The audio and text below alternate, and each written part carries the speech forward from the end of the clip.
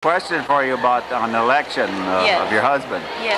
What do you think his chances are, be- being he's on the last one on the last name on the ballot there, Well, now, gently? that's kind of a coincidence because he's on the third. He's in Crookston. He's third on the ballot. Uh, Oh, yeah. So that's kind of debatable, but I think I- his chances are excellent. I really Wow. do. I think he has the qualifications. I voted for him, ma'am. Oh, you did? Well, I thank you very much, and I'm sure he'll appreciate I think that.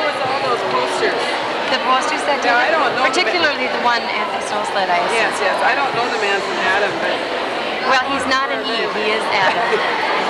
It's a good thing you, you talked for a while because the camera is just starting to focus, I think. no, that's me.